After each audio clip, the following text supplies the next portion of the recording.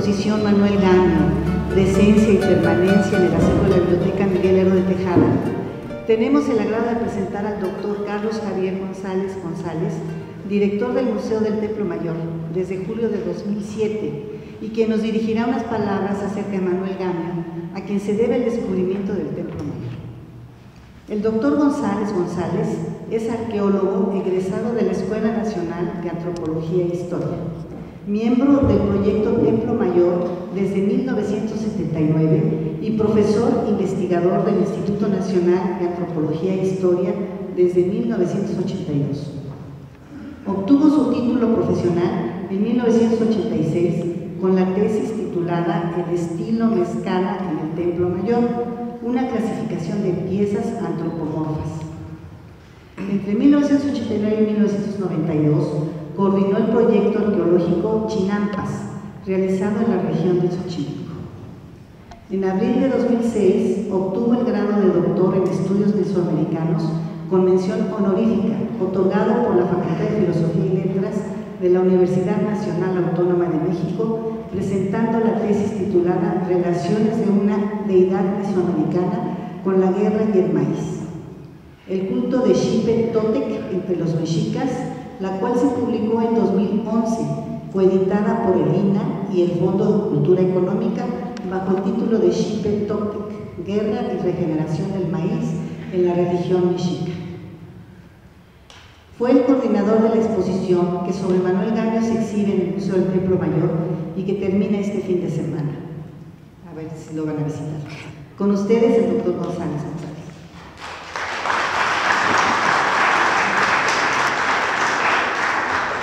Muchas gracias, Consuelo. Bueno, una aclaración. Lamentablemente, la exposición eh, conmemorativa por los 100 años del hallazgo del Templo Mayor concluyó el, domingo pasado. Ah, el domingo pasado. De hecho, sí, ya el domingo pasado fue el último día para verla. Em, pero bueno, en fin, nada más es una, es una aclaración. Muy buenas tardes. Me da mucho gusto estar hoy aquí con ustedes. Eh, en fin, porque además me da gusto también, eh, se los comento, prácticamente me despido como director del Museo del Templo Mayor con esta conferencia. Hoy es mi último día como director del museo. Claro que fue una decisión personal por conveniencia propia, por convenir a mis intereses. Regreso al área de investigación, pero me da mucho gusto estar precisamente este día aquí con ustedes. Eh, vamos a hablar desde luego la figura de, Manuel Gamio, eh, lo comentó eh, mi maestro, el doctor Miguel León Portilla, en la primera conferencia, bueno, muchas facetas de Manuel Gamio. Pero desde luego con la que él se inició prácticamente fue con la de arqueólogo. Entre otras cosas importantes, él implementó el, método de excavación estratigráfica eh, en, México por primera ocasión, con unas excavaciones realizadas en Azcapotzalco. Eh, y eh, esta primera fase de su vida la dedicó a la arqueología, desde luego, además del del hallazgo del Templo Mayor, de lo cual vamos a hablar el día de hoy, pues desde luego él coordinó ese gran proyecto en Teotihuacán, en el Valle de Teotihuacán, del cual también habló mucho el maestro Leo Portilla, del carácter interdisciplinario de, ese proyecto que tuvo una, tuvo una enorme, y tiene todavía hasta la fecha una enorme importancia. Pasamos a la primera imagen. Eh, desde luego, la cuestión, eh, el Templo Mayor junto con los principales edificios prehispánicos de la ciudad de Tenochtitlan, pues fue eh, arrasado, sobre todo en sus últimas etapas constructivas, eh, y quedó todo este, estos restos prehispánicos quedaron cubiertos por la ciudad novohispana que se empezó a construir a los pocos meses de consumada la conquista.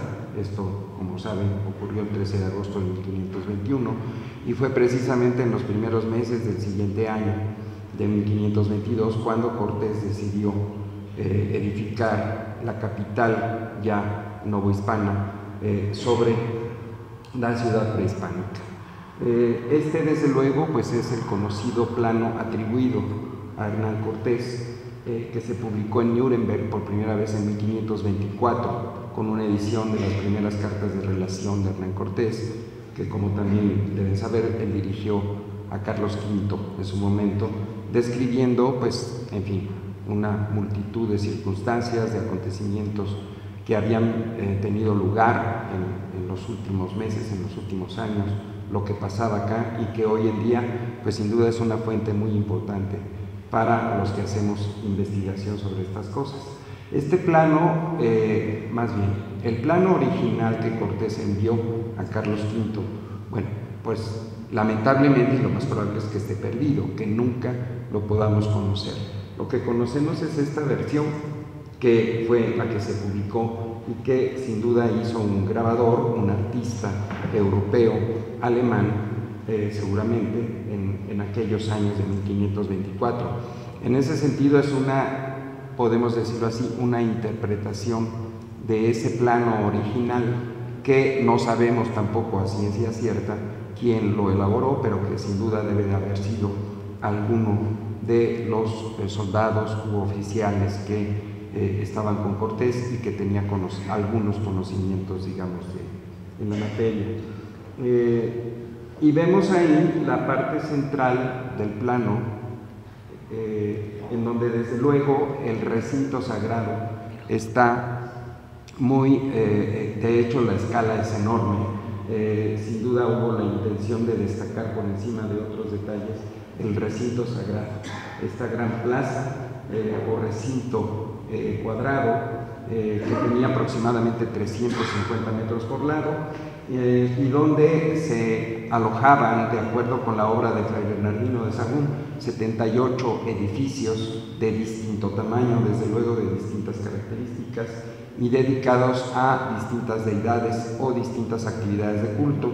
El más importante entre ellos, sin duda, el de mayor tamaño, era el Templo Mayor, dedicado a Huitzilopochtli, el dios principal de los mexicas, dios tutelar de los mexicas, dios vinculado sobre todo con la guerra, un dios de carácter solar, y Atlaloc, el dios popular, conocido, famoso dios eh, de las lluvias. Eh, entonces hay un detalle, desde luego ahí vemos en, el, al, sur del recinto sagrado este espacio abierto y que de hecho tiene la leyenda plaza. Y eso, además de otras descripciones de Cortés, de Bernal Díaz del Castillo em, y de otros eh, conquistadores tempranos, nos hablan de que ese espacio, de que efectivamente al sur del recinto sagrado había un espacio abierto, es decir, el área que hoy es ocupada mayormente por, la, por el Zócalo o Plaza de la Constitución, era de hecho desde época prehispánica, eh, de acuerdo con estas descripciones y de acuerdo con este plano, un espacio abierto. Pero el hecho es que el templo mayor, eh, no, no, tengo señalador, pero lo pueden ver del lado izquierdo del recinto en este caso, y orientado erróneamente hacia el, oriente. Esto, bueno, eh, es una cuestión extraña que, que, ha tenido diferentes interpretaciones. Yo creo que se debe fundamentalmente a lo que comenté inicialmente, que este es, debemos verlo así, es una reinterpretación, recreación del plano original que Cortés envió a Carlos V, hecho por un, hecha por un artista eh, europeo. Pero en fin, es uno, como quiera que sea, es eh, sin duda el primer testimonio europeo sobre el Templo Mayor, este gran edificio del cual se crearían una serie de mitos, de leyendas, de historias eh, a lo largo sobre todo del siglo XVI, del XVII, se siguió escribiendo sobre él, ¿verdad? Sobre todo eh, como sede del culto prehispánico y eh, de esta manera pues su ubicación quedó en gran medida también enterrada en la memoria y con el tiempo se volvería eh, motivo de discusión, motivo de polémica, esa ubicación del Templo Mayor y pues dónde se encontraba verdaderamente. Vamos a pasar a la siguiente. Eh, esta, desde luego, que es el, conocido croquis o dibujo o plano del recinto sagrado, según aparecen los primeros memoriales de Sagún. y en donde vemos también resaltado eh, casi en la parte central, aunque hoy, hoy, sabemos que estaba el templo mayor en realidad, pues casi en el límite oriente del recinto y orientado hacia el poniente, eh, de manera que presidía y dominaba todo el recinto. Pero aquí lo vemos, el templo doble hacia el centro, en donde se ven, desde luego, la sangre que escurre de la parte superior para resaltar el hecho de que ahí se realizaban sacrificios humanos. Y bueno, otros edificios importantes, en la parte de abajo vemos la cancha de pelota con esta eh, forma como I, I mayúscula. Eh, a la derecha vemos esta piedra circular con unas cuerdas que es el, el temalacat, el malacate de piedra, donde se realizaba la principal ceremonia de sacrificio dedicada al dios Ipetotec, que también aparece junto a esta piedra en, el lado derecho de la imagen, el Calmecac, del cual salen unas huellas de pies hasta este momostri o altar central sobre el cual se yergue este sacerdote con un saumador. Eh, y así otros edificios del recinto, pero también es uno de los testimonios eh, del siglo XVI sobre el recinto sagrado y el templo mayor. La siguiente. Esta otra, que es otra imagen del Códice Florentino, esta magna obra de, de Sagún, a quien tanto debemos, a este franciscano ilustre, eh, y que pues muestra, es una imagen sobre la destrucción del templo mayor como una de tantas manifestaciones en que quedó plasmado este hecho, eh, que eh, pues, pues, sin duda lamentable, pero que hay que entender como parte de un proceso histórico eh, que derivó en todo esto. La siguiente. Otro ilustre franciscano, Fray Toribio de Benavente o Motolinía, que fue uno de los doce primeros franciscanos que llegaron en mayo de 1524 a la Nueva España, eh, encabezados por Fray Martín de Valencia, y entre los cuales venía Fray Toribio de Benavente o Motolinía, Motolinia o Motolinía, que en náhuatl significa el pobre, el pobrecito, ¿no? Eh, que es el, el, nombre, el apelativo que los indígenas cariñosamente le dieron a este fraile. Pero ¿por qué les muestro al buen Fray Toribio? porque precisamente, eh, repito, él llegó en mayo de 1524 con otros 11 franciscanos eh, y es él quien en una parte de, su obra, de, de, sus memoriales, hay una parte muy importante en donde él habla sobre el templo mayor y el número de escalones que tenía el, el templo mayor y dice él, yo bien los vi y los conté más de una vez, pero no me recuerdo. Entonces, independientemente que hay que lamentar la mala memoria de Fray Toribio con respecto al número de escalones que tenía el templo mayor, lo importante es la forma en que lo dice. Yo bien los, los vi y los conté en más de una ocasión. ¿Qué nos está diciendo esto? Que en 1524 el templo mayor estaba aún en pie, mayormente en pie, quizás había sufrido algunos daños, pero estaba todavía completo es decir, tres años después de consumada la conquista. De manera que su arrasamiento y su destrucción pues no fue eh, ciertamente una cuestión inmediata, fue algo que tomó un tiempo. Eso es lo importante de la referencia de Motolinía y por eso es que se los muestro aquí y también en la siguiente imagen, que es un, mural que está en el precioso, por cierto, convento de Huejotzingo, Puebla, aquellos de ustedes que no lo conozcan, por favor váyanlo a visitar. Y lo mismo las preciosas capillas posas de Calpan, que está muy cerca, a 15 minutos de Huejotzingo, eh, y que vale la pena conocerlo. Y ahí vemos a Fray Toribio, vemos eh, junto a la cruz del lado izquierdo, en primer lugar a Fray Martín de Valencia, que fue el que encabezaba a este grupo de 12 franciscanos, y a Fray Toribio, eh, el tercero, el segundo más bien detrás de Fray Martín de Valencia la siguiente. Este plano de la, de la Plaza Mayor en 1562, eh, y que es, bueno, es muy interesante por muchos detalles, eh, no se van a alcanzar a leer las leyendas ciertamente, pero eh, por ejemplo aquí vemos la primitiva catedral, la, primera que era ciertamente muy, pequeña, nunca tenía el tamaño de la, de actual, y que estaba ubicada en la parte de lo que hoy es el atrio frontal de la catedral. Y por cierto, esta primera catedral, sus puertas veían hacia el poniente y el ábside, la parte posterior, hacia el oriente, como era la práctica en la mayoría de las catedrales de la Edad Media en Europa, que el ábside veía hacia el oriente, hacia Tierra Santa. Aquí esta área, la leyenda dice eh, cimientos de la, de la nueva catedral, no pretendo ser textual, que no, no se puede leer, pero nos indica que en esta área, en 1562, se cimentaba, se empezaban a hacer los cimientos de lo que sería la nueva catedral y que con el curso de muchísimos años pues llegó a ser la que actualmente conocemos. Eh, Fray Diego Durán, por ejemplo, otro, otro cronista ilustre que escribía por estas fechas, hace referencia a estas obras de cimentación e incluso nos describe cómo en esas obras se alcanzaban a ver restos de los vestigios prehispánicos de la ciudad. Pero aquí lo importante, lo que quiero hacerles notar sobre todo, es que hacia el norte de la plaza, aquí vemos esta calle, que es actualmente la calle de República de Guatemala, eh, es decir, la que va a espaldas de la actual catedral. Y esta calle, que es la prolongación prácticamente de la calzada de Iztapalapa eh, y de Pino Suárez, la calle de Pino Suárez hoy en día, y que eh, posteriormente se llamaría la calle del seminario.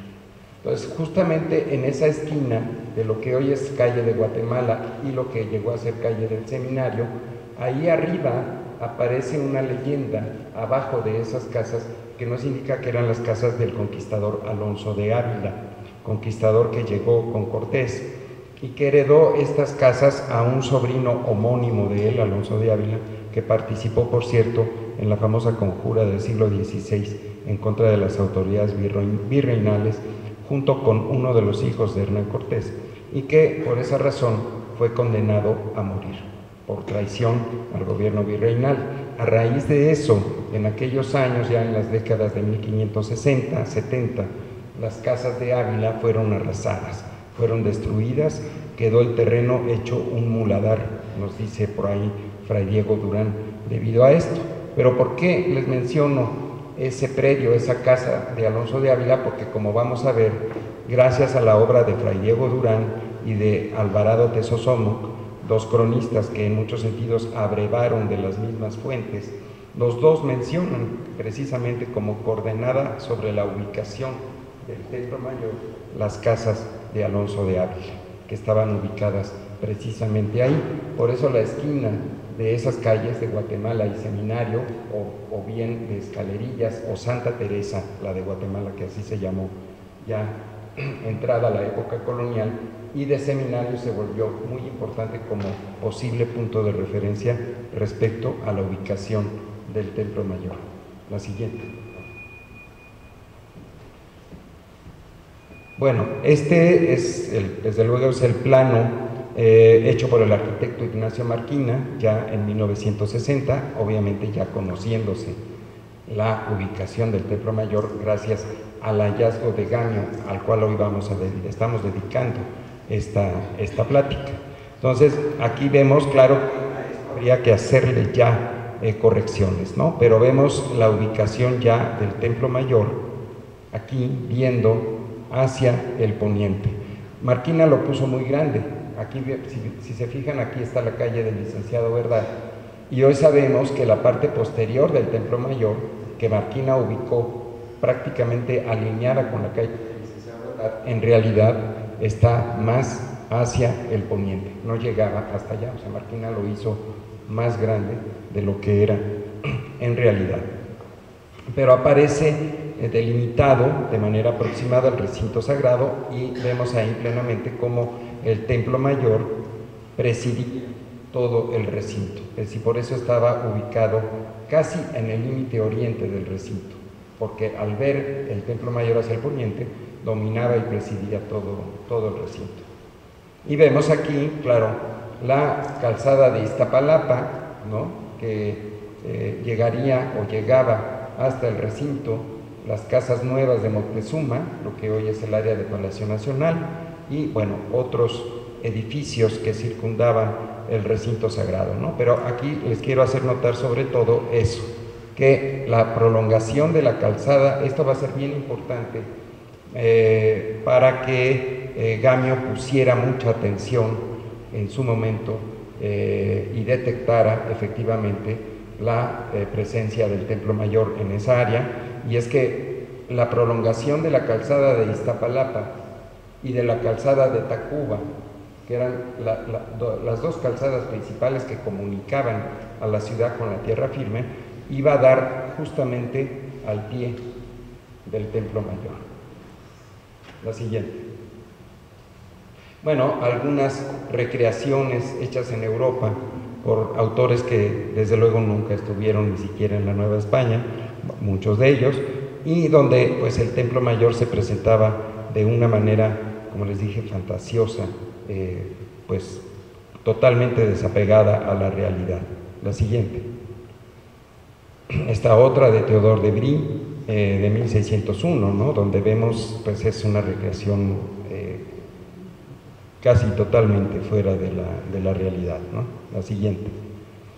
Y estas de, bueno, dos ilustraciones, una del conquistador anónimo de esta obra, pues que todavía, digamos, hay dudas sobre su autenticidad, si realmente fue hecha por un autor del siglo XVI.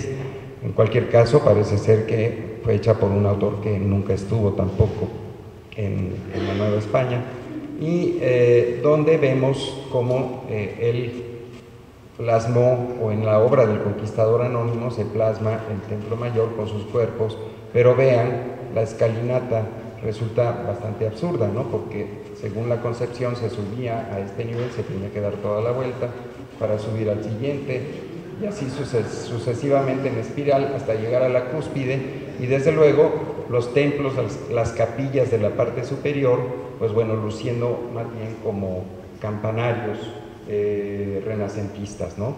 Eh, totalmente europeos. Pero el caso es que Francisco Javier Clavijero, este ilustre jesuita que escribió su obra en, en, el siglo XVIII, ya expulsado de la Nueva España, porque él de hecho la escribió y la publicó en Italia, el título es y primero apareció en italiano como Historia Antica del México y después ya fue traducida al, español. Pero el caso es que Clavijero, no sé por qué circunstancias, pero consideraba eh, la representación o la imagen del Templo Mayor del Conquistador Anónimo como la más apegada a la realidad.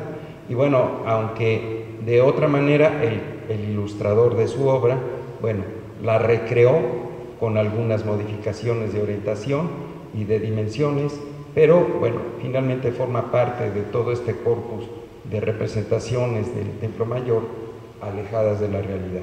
La siguiente. Y bueno, aquí están los dos fragmentos de la obra de Durán eh, y de Alvarado Tesosomoc, eh, en donde, como les dije, se hace referencia a las casas de Alonso de Ávila, ¿no? Diego Durán dice que el templo de Huitzilopochtli era el más solemne y suntuoso, mayor y más principal entre todos los de la tierra, cuyo sitio era en las casas de Alonso de Ávila, que ahora están hechas muladar, ¿no? A raíz de lo que ya les comenté. Y Alvarado Tesosomo, por su parte, es, es más amplio en este sentido, es más detallista, porque nos dice este templo externo, el de estaba puesto a donde fueron las casas de Alonso de Ávila y don Luis de Castilla hasta las casas de Antonio de la Mota en Cuadra. Es decir, esto está bastante apegado, lo de Alvarado Tesosomo, a la realidad, porque casi las propiedades que él está mencionando ahí, les puedo decir que es prácticamente lo que hoy es la zona arqueológica del Templo Mayor. Las casas de Antonio de la Mota llegaban hasta la esquina de las calles de Correo Mayor actualmente y de Guatemala. Entonces eh, era más apegada a la realidad la descripción de Alvarado que Sosomo, pero lo importante es que ambos hacen alusión a las casas de Alonso de Ávila, como, insisto, como punto de referencia. La siguiente. Volvemos nuevamente al, al, plano que ya les mostré, pero de hecho pues ya, ya les expliqué con bastante detalle en dónde se encuentran las señaladas aquí, las casas de Alonso de Ávila, justamente en la esquina que, forman hoy en día las calles de Guatemala y Argentina. Bueno, esta preciosa pieza que estuvo en la exposición eh, ahí con nosotros para privilegio nuestro, eh, esta preciosa cabeza de diorita de la diosa Coyolxauqui, eh, que fue encontrada allá por 1829, precisamente en los predios que ocupaban la, casa de este señor Mota, pero que ya en aquel entonces ocupaba un convento de monjas. Entonces fue encontrada esta pieza que muy probablemente estuvo en la parte superior del templo mayor.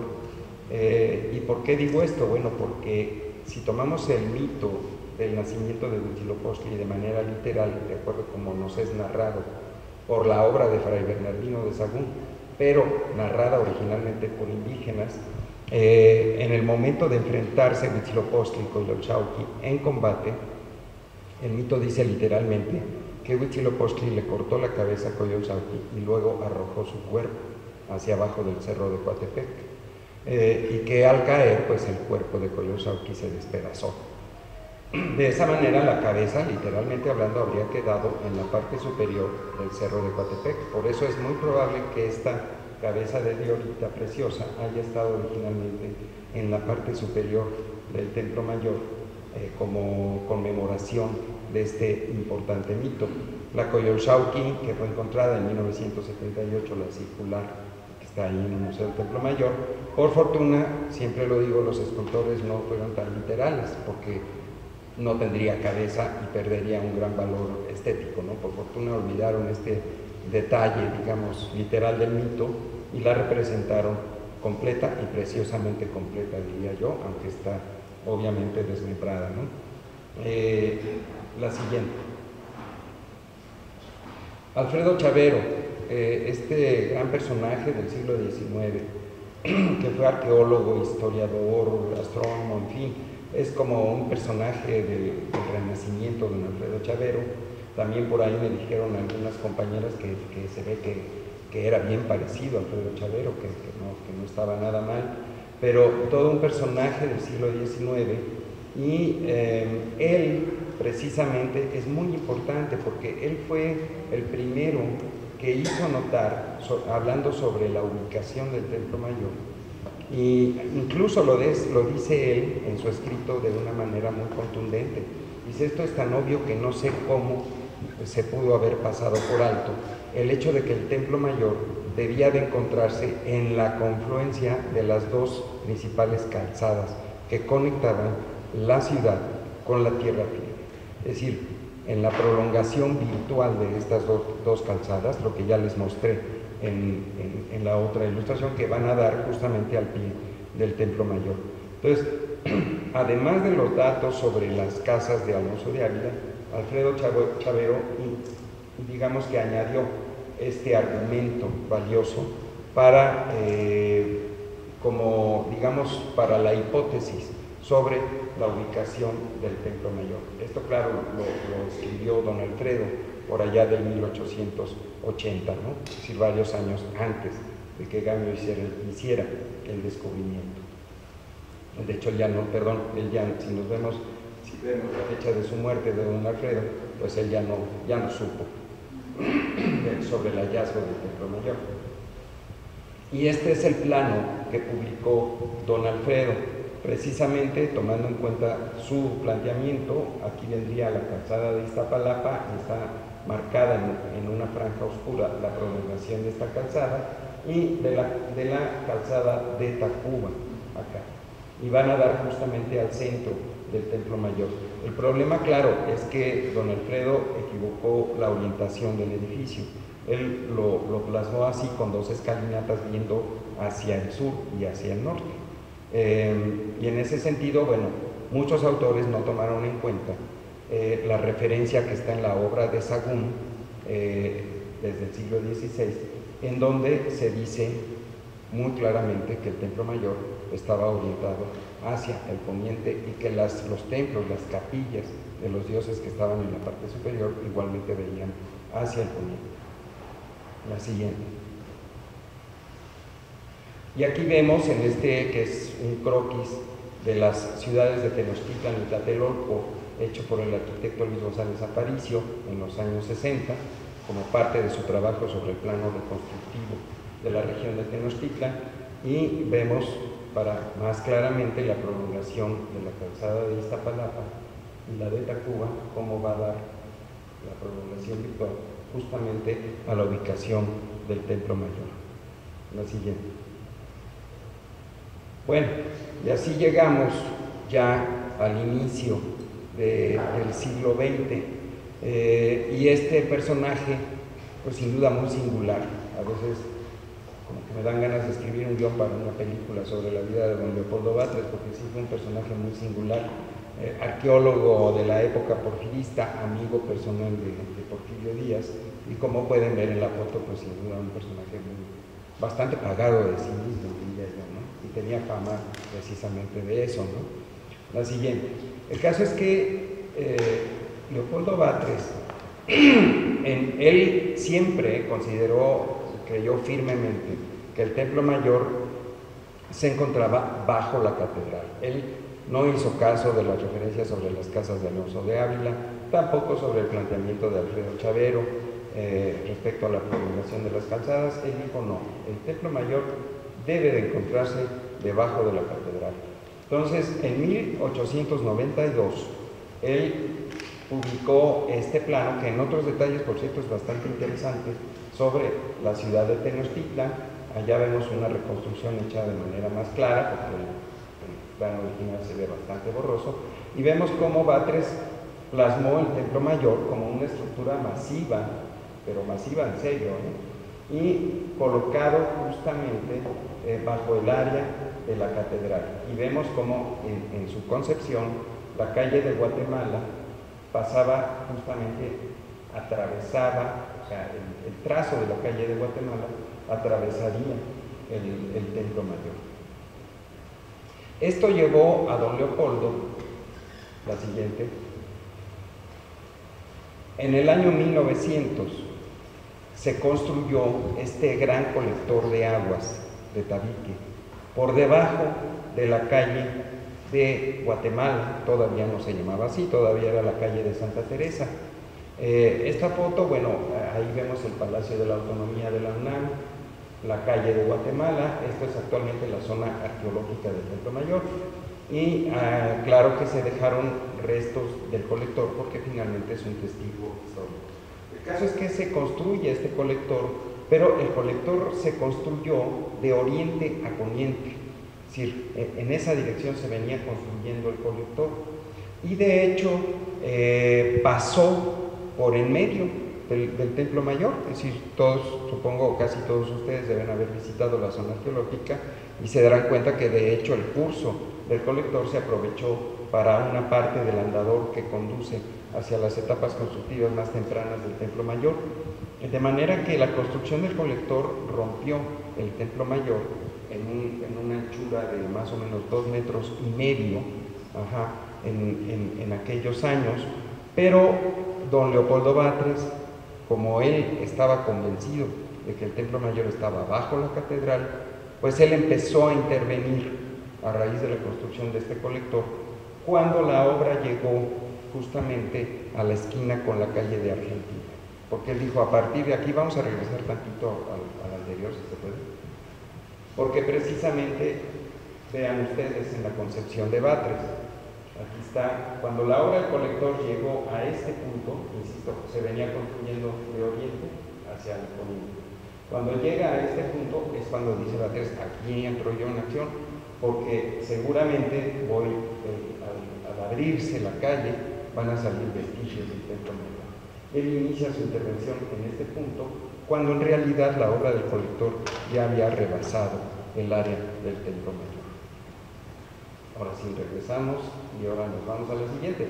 Ahora, sin duda la intervención de Batres es muy valiosa porque recuperó una enorme cantidad de objetos y si bien no hizo ciertamente un registro arqueológico como ahora desearíamos que lo hubiera hecho, bueno, pues sí, juntó los objetos, tomó fotografías, los, eh, los definió a partir de fechas, el hallazgo del día 16 de octubre, el hallazgo del día fulano de tal, e iba reuniendo los objetos que sin duda formaban parte de ofrendas muy valiosas, eh, y así en las fotografías. Por cierto que esta eh, es una ofrenda que por toda la descripción que hace Batres del, punto en donde se encontró, debe haber estado al pie de esta estructura circular que se encontró recientemente en la parte eh, de enfrente del Templo Mayor, el llamado Cuauchicalco, que era uno de varios eh, estructuras circulares que había dentro del recinto. Entonces, esto se encontró hace apenas unos cuantos años y esta ofrenda se encontraba al pie de la escalinata de este edificio, del Cuauhtitlán. La siguiente. Entonces, ¿qué ocurre? Después de esta intervención, claro, Batres no encuentra vestigios del templo mayor, encuentra sí muchos objetos, ofrendas, pero no encuentra eh, restos de arquitectura. Entonces, ¿qué hace don Leopoldo? Bueno, publica eh, un nuevo plan que acompañó a su, a su publicación de, esta intervención, de estos hallazgos, y entonces lo que hace es recortar el templo mayor. Si no lo encontré, sigue estando debajo de la catedral, pero no es tan grande como yo lo concebí. Entonces lo recorta, aquí, esta, aquí ven, esta es la calle de las escalerillas, que es precisamente Guatemala, así se llamaba en aquel entonces. Entonces él recorta el templo mayor y pone el límite eh, norte del templo mayor justamente a partir de ese punto, puesto que él no lo encontró. Y además, desde luego, Batres pone el templo mayor erróneamente orientado hacia el sur, igual que lo había hecho Chavero, igual que eh, en su momento también lo orientó el, mismísimo Edward Seller, que también se equivocó en este respecto. Eh, Edward Seller, él planteaba que el templo mayor estaba orientado hacia el sur y pues estaba equivocado también en este sentido. La siguiente.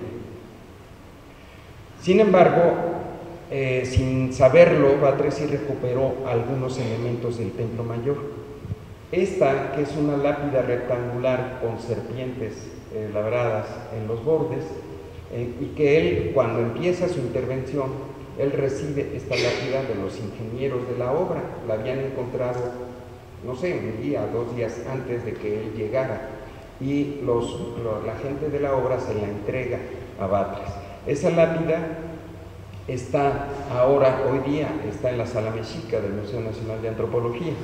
Eh, y esta que vemos aquí es otra lápida igual, pero que fue encontrada en las excavaciones nuestras, las de posteriores al hallazgo de Coyolchau, y que está ahí, está en su lugar original, en la plataforma del Templo Mayor. Esta es la escalinata que lleva, o llevaba más bien, del, piso del recinto a la plataforma del templo mayor y ahí está esta lápida. Pues bien, la que recuperó Batres o le entregaron estaba precisamente aquí, pegada a esta. Ahorita vamos a ver otra fotografía, la siguiente. Bueno, esta fotografía desde luego de la zona arqueológica actual.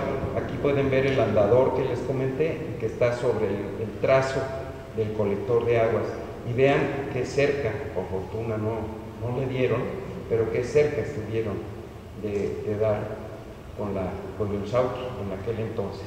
Pero aquí vemos la lápida que les mostré en la foto anterior, que está en su lugar original, y la que Batres recuperó y que está en la sala mexica es la que estaba precisamente aquí, junto a ella, porque son iguales en dimensiones, en características. Y conjuntamente las dos lápidas formaban parte del escenario ritual del Templo Mayor, porque de acuerdo con las investigaciones que yo realicé para mi tesis doctoral, era precisamente en esta área en donde se realizaba el desollamiento de los cuerpos de los guerreros eh, que eran sacrificados en el Templo Mayor durante la fiesta de durante la fiesta de Entonces era precisamente en esta área en donde tenía lugar esta acción ritual. Bueno, la siguiente.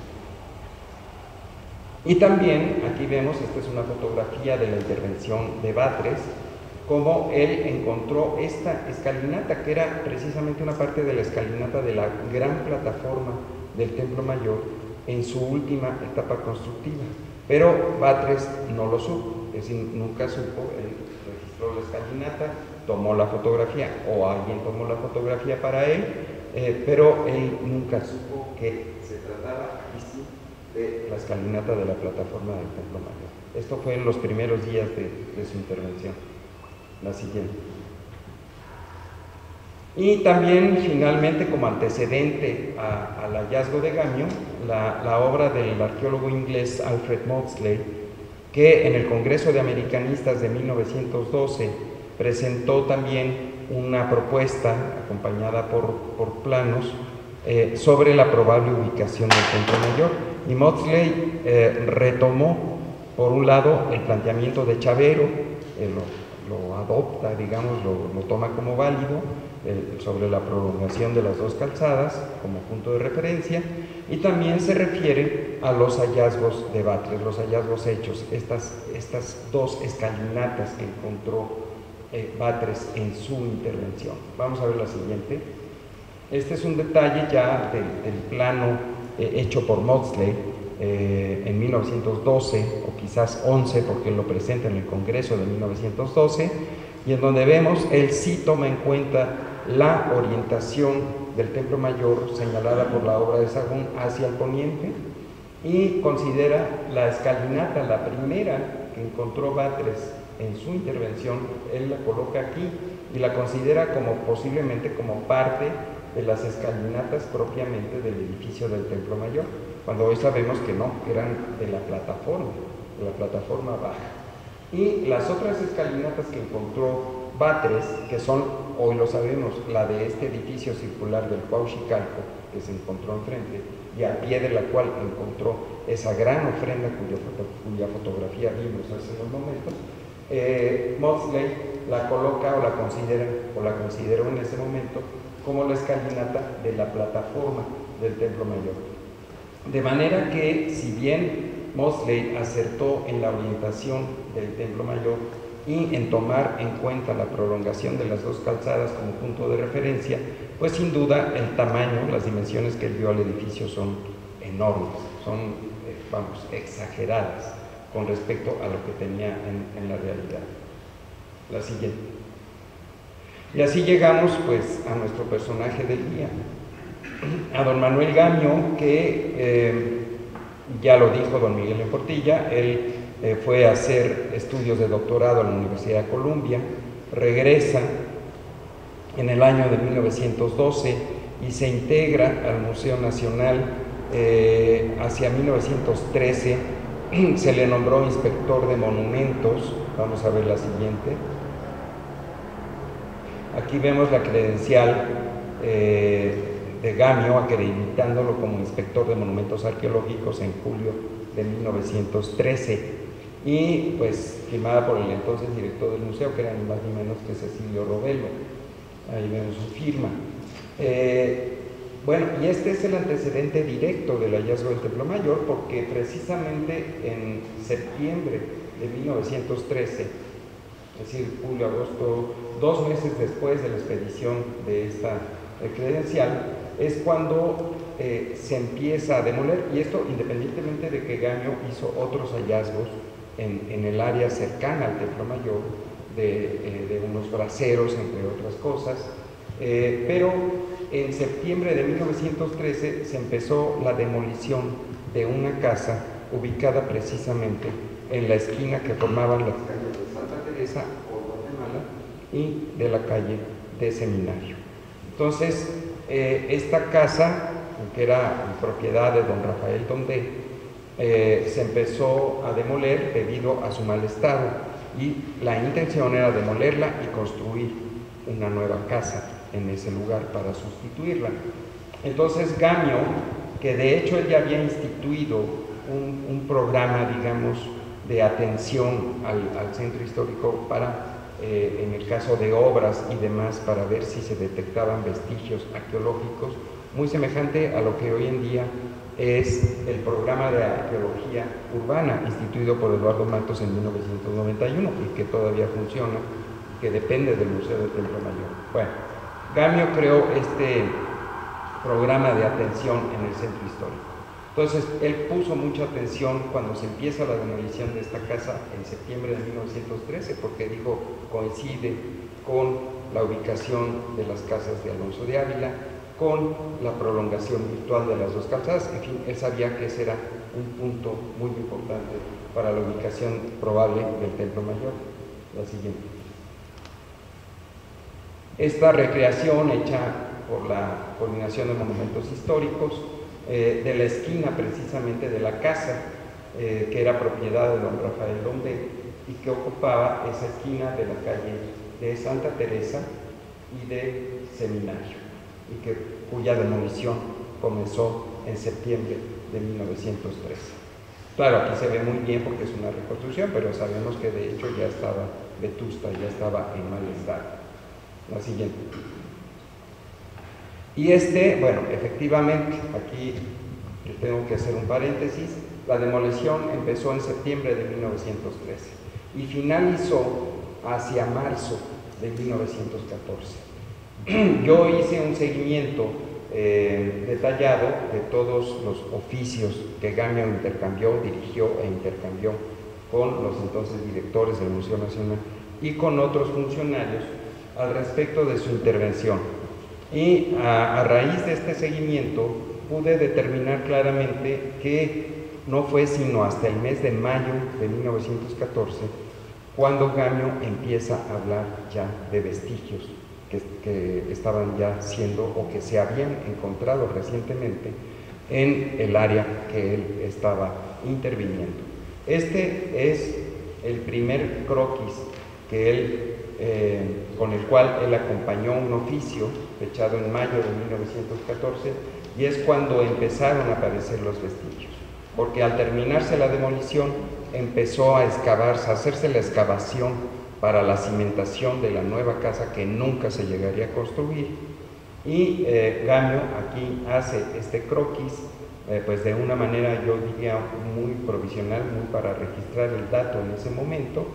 Eh, aquí vemos incluso que él pone parte por demoler, o sea, la demolición estaba todavía, no estaba terminada y empezaron, o no estaba terminada por completo, y empezaron a aparecer los primeros vestigios prehispánicos, la calle del Seminario, la calle de Santa Teresa, todavía no se llamaba República de Guatemala. Ese cambio de nombre, por cierto, tuvo lugar hacia 1916-17, o sea, dos o tres años después de los hallazgos de Gambia, pero ahí todavía se llamaba Santa Teresa.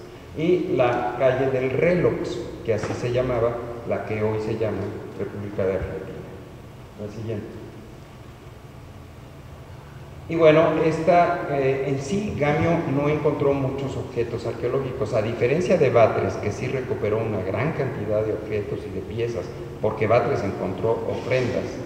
Eh, Gamio no encontró en sí muchos objetos, pero sí encontró algunos muy significativos, como esta almena, por ejemplo, arquitectónica en forma de, caracol cortado, y que él relacionó con las representaciones del templo mayor a, las cuales la coronaban almenas muy semejantes a esta. Entonces, este fue uno de los elementos que llevaron a Gamio, eh, bien pronto, por cierto, en ese mismo mes de mayo, a concluir de manera determinante que lo que se estaban encontrando eran los vestigios del templo mayor, del templo de Huitzilopochtli y claro, porque él de hecho no le llamó templo mayor, así se refirió a él siempre, que el templo de Huitzilopochtli y de Tlaloc, pero que sin duda pues es uno y el mismo edificio, ¿no? La siguiente.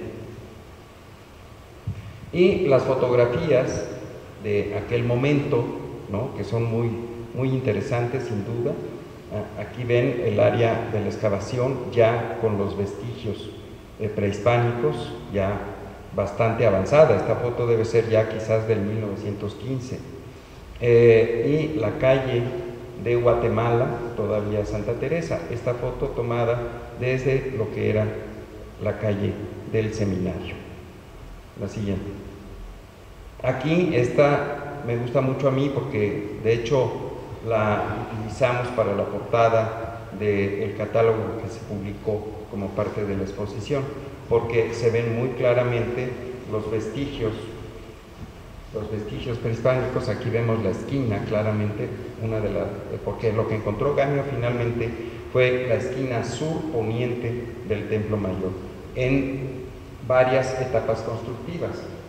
Aquí vemos, esta, aquí vemos claramente la esquina en una etapa constructiva.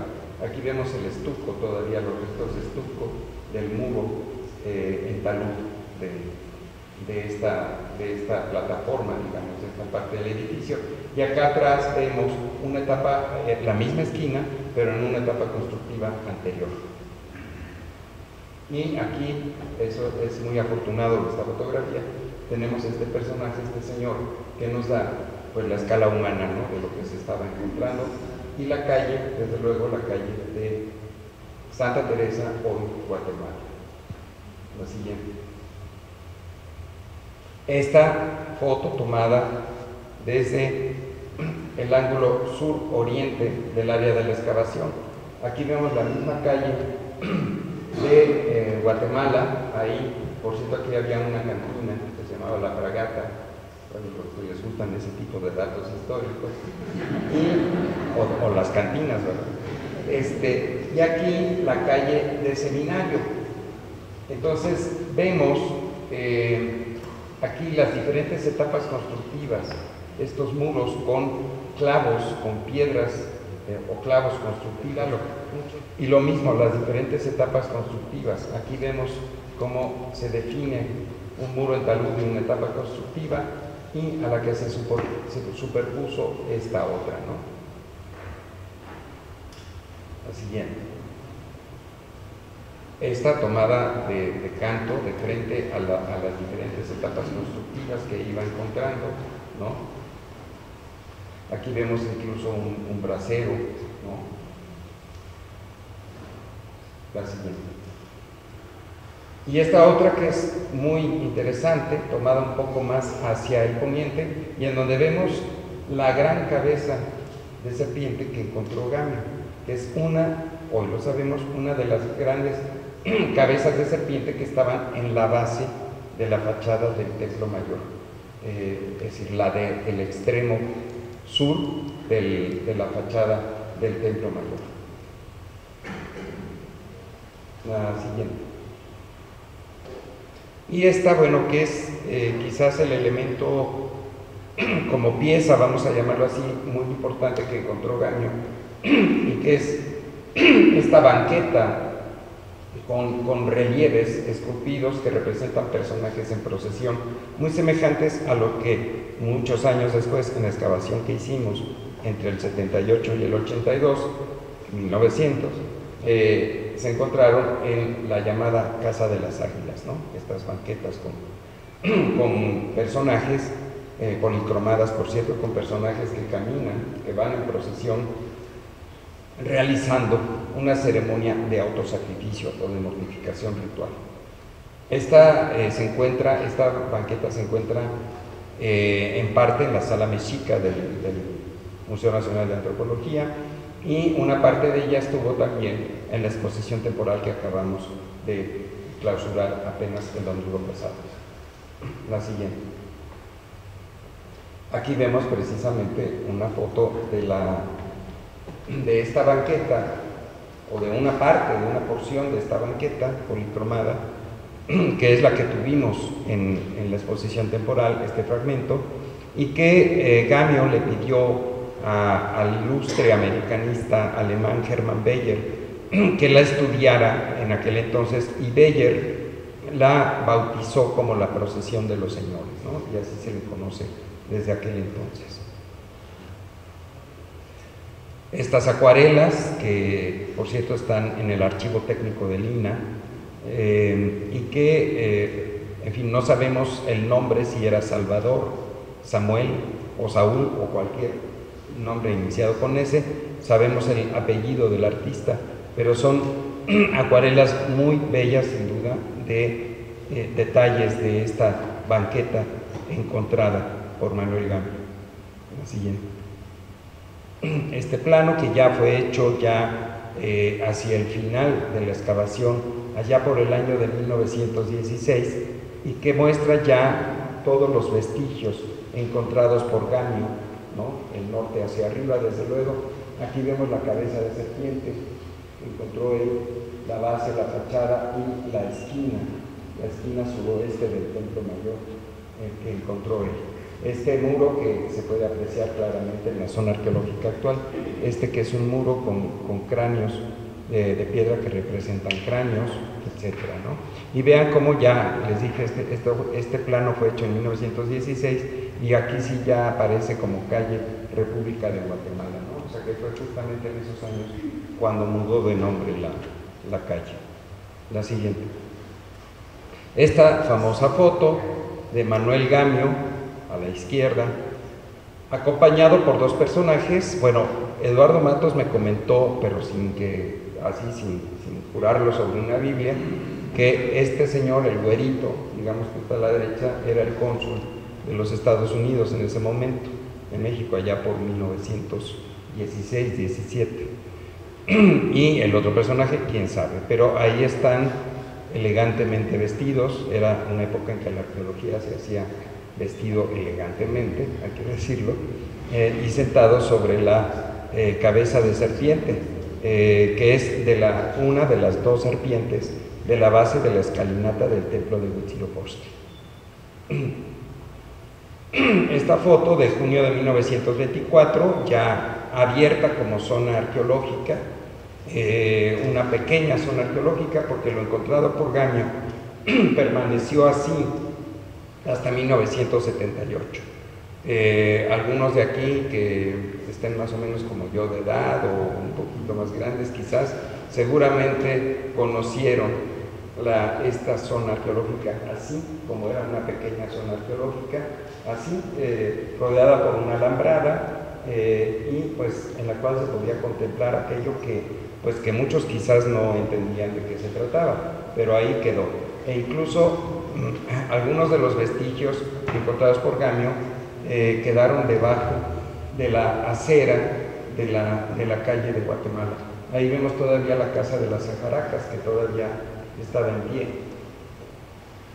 La siguiente. Ah, bueno, y esta foto que es muy ilustrativa, esta foto que es hacia, tomada, fue tomada hacia 1930, esta foto aérea oblicua, y donde vemos claramente que fue excavada por Gamio.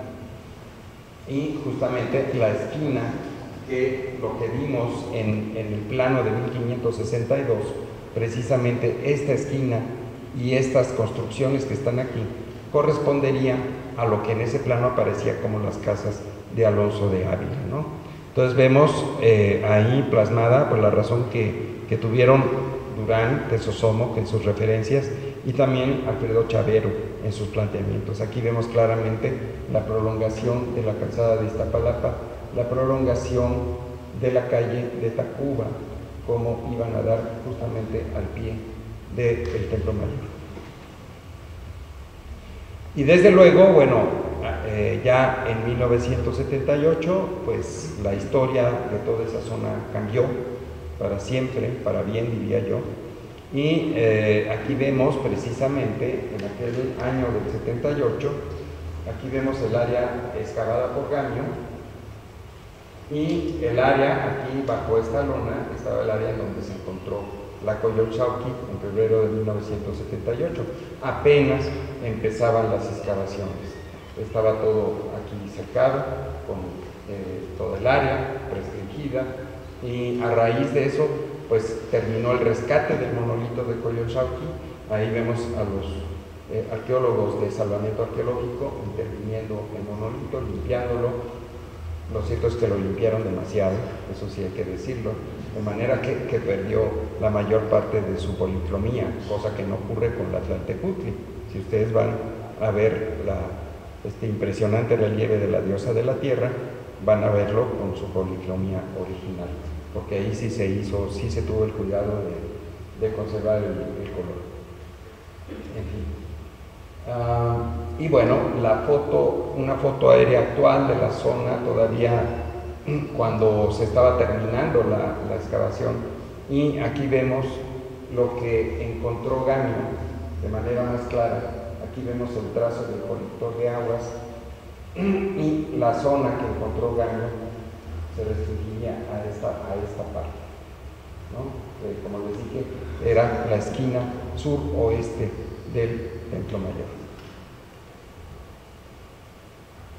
Otra vista, igualmente, para mostrarles el área que abarcaba lo encontrado por Gaño y todo lo que les he venido ya mencionando. Aquí vemos claramente la confluencia de las dos calzadas al pie del templo mayor. Y esta para mostrarles la, cabeza de serpiente encontrada por Gamio en 1914, eh, ahora ya plenamente unida con el resto de, la estructura prehispánica, el trazo del colector y nuevamente los cerca que estuvieron en aquel entonces de encontrar a la Coyoshauqui y que por, fortuna no lo hicieron. Y, no solo, bueno, probablemente no, no, no hubiera sido destruida la Coyoshauqui, no me refiero a eso, sino sobre todo a que eh, no sabríamos cuál es la situación original de la escultura, que eso es importantísimo, ¿no? Sí, probablemente la conoceríamos, pero ya removida de su lugar original y sin que hubiera quedado registro de dónde estaba originalmente. Y aquí es muy importante, no me canso de siempre insistir en ello, la importancia de la ubicación de la Koyolxauhqui, de esta gran escultura y preciosa escultura al pie de la escalinata del templo de Huitzilopochtli, porque eso hace un sentido con el mito del nacimiento de Huitzilopochtli, con todo el relato que conocemos por la obra de Saúl. Y me parece que esta es la última, no, esta sí es la última, es una recreación también hecha en la Coordinación de Monumentos Históricos de Lina, ya con todos los datos arqueológicos que se conocen sobre el Templo Mayor y sobre su verdadera ubicación. Y ahí lo vemos con todos los demás elementos históricos importantes que lo rodean, la catedral, la preciosa casa del Marqués del Apartado, obra de Manuel Tolzá, el Palacio de la Autonomía, etc. Muy bien. Entonces, pues, eh, insisto, esto resalta la, gran importancia, la gran importancia de, Manuel Gamio, sin duda, eh, no solo por haber sido el primero que eh, digamos que introdujo el sistema de excavación estratigráfica tan valioso para el trabajo que hacemos los arqueólogos, sino en este caso por haber tenido la visión, eh, eh, gracias a los conocimientos que tenía y a la intuición también que tenía como buen arqueólogo, de haber podido localizar por primera vez el templo mayor y haber terminado de una vez por todas con la discusión y las especulaciones respecto a su ubicación original. Muchas gracias, les agradezco su presencia.